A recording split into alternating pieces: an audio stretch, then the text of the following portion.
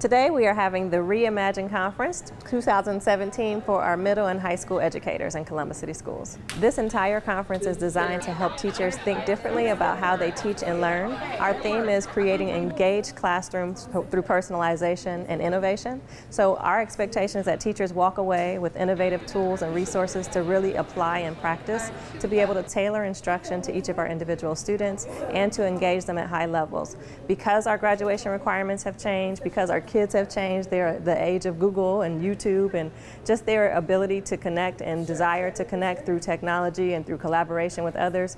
We really have to help our teachers make shifts in their instruction to really engage kids at high levels. So for our students, what it will mean is that when they walk into classrooms, the teachers who are attending today are going to provide new strategies. They're no longer going to hear sage on the stage, the teacher as the sole resource of information. Ideally, the teacher will be incorporating blended learning. They'll be incorporating collaboration, small group instruction. They'll be incorporating technology. They'll be incorporating all kind of innovative tools to help kids stay connected with their learning and learn at deep levels and help them master the standards at the levels that they need to master them.